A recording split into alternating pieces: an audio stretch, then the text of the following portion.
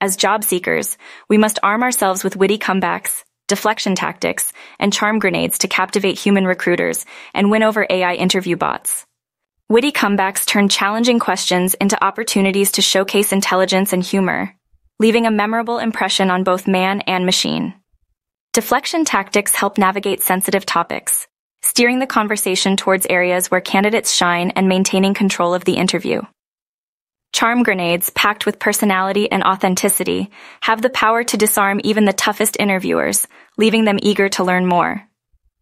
In the high stakes world of interviewing, these verbal weapons are essential for success, helping candidates navigate the complexities of the interview process with confidence, charisma, and flair.